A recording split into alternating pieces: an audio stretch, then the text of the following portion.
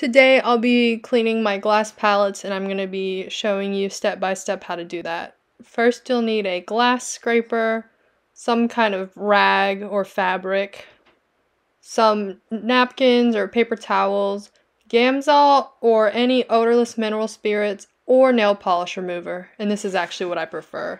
And also a palette knife would be helpful. First, I get another empty glass palette or glass from a picture frame and this is what I use to hold all my excess paint that's still workable. So, I really don't like muddying up my colors, so in between colors I do wipe off the different colors.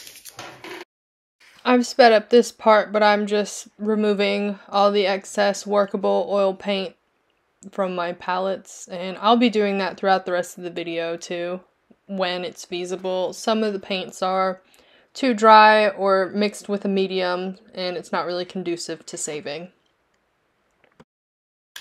Because I use this liquid medium and liquid's not something that I would reuse either because it it kind of gets like hard.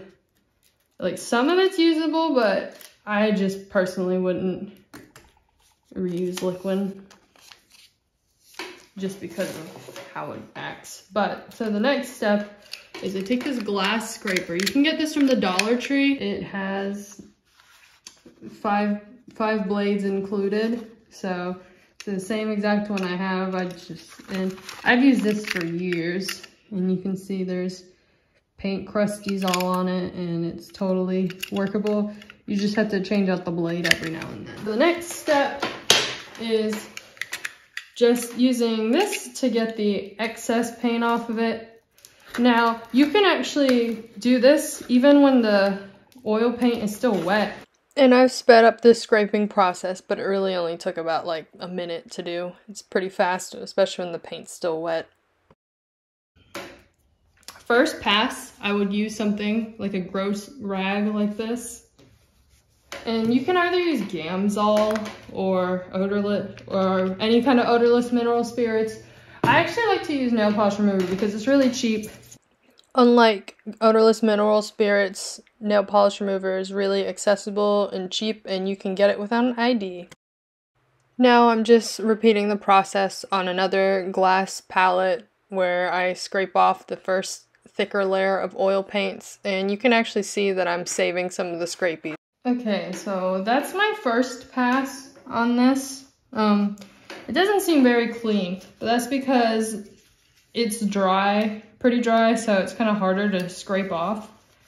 So instead of just like working all the elbow grease on this, what I like to do is I'll do a first pass with my gross rag. I had mentioned that on the first palette, but it actually got really clean very quickly, so I didn't end up doing a second pass. But, so I just take this and get some nail polish remover and just give it like a little bit of a wipe all over. And it might not look like it's doing too much, but it, it, it does kind of break down that top layer and it makes it a lot easier to work with. You can tell a lot of colors coming off. I'm gonna do a little bit more nail polish remover because this is a pretty, pretty gnarly one. But it really might not look like it's doing much, but with your second pass of the glass scraper, it's gonna be a lot easier. And now, I'd say this is pretty good. So you do your second pass instead without, not the dirty rag, but with like these little napkins or paper towels or whatever you want to use because the rag is very helpful, but because it does have all the other colors on it, even though you're cleaning it, you're kind of rubbing your other colors into it. So for the next two palettes, I pretty much repeat the same process and in this clip here, you can see me salvaging some of this dried paint and I'm putting it into my little jar. That's just something some artists do. The artist on YouTube, Lena Danya, she's the one who I had first ever seen do that. And I asked in a comment and she was like, it just kind of reminds not to be wasteful. And I thought that was pretty cool. So that's something I do, but it's definitely super optional and it really doesn't matter at the end of the day, but I do like to keep my little scrapies. So you can see here, I'm repeating that process of going in with a glass scraper to get the excess oil paint off before I wipe it down with a rag. And then after I wipe down with the rag, just to get the top layer off, not too clean, I go back again with the glass scraper. And then one more time with the nail polish remover and a napkin it's it's pretty easy and it once you're used to it, it really takes like 5 minutes for you to clean your palettes.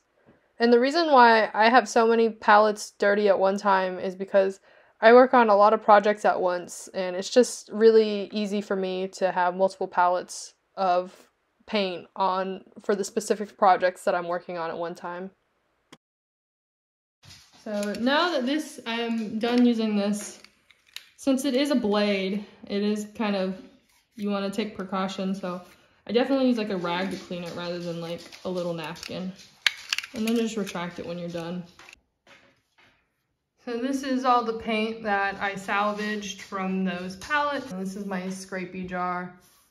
It's like not super cool. It's just, I don't know. You don't, you definitely don't have to do it. It's just kind of interesting. I've already filled one up. And it's not that cool looking, honestly, but let me take the ring off. I think it looks cooler without the ring. But yeah, it's not that cool looking, but it's something I did. And if you don't know what to do with your old paints, you can do this. And part of the reason why I did this too, I haven't done it yet, and I think it would actually be very hard to get out of the jar.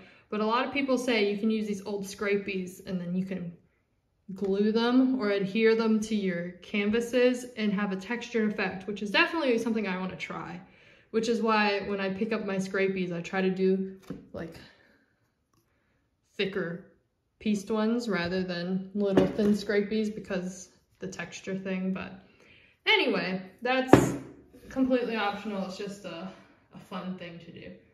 I don't think I showed it very well. I got this from the Dollar Tree because I thought it was cute. It's like a little trash can. This is what I use to put all my little newspapers and scrapies while I'm in my painting process. So I don't have to reach for a trash can. It's just right here. Put it off to the side boop. And so yeah, I really like it. I think it's kind of cute. It's a cute way for you to store your trash in the middle of your painting process. So. Comment below if you have any questions, suggestions, or recommendations, and hope to see you in the next one. Have a good day.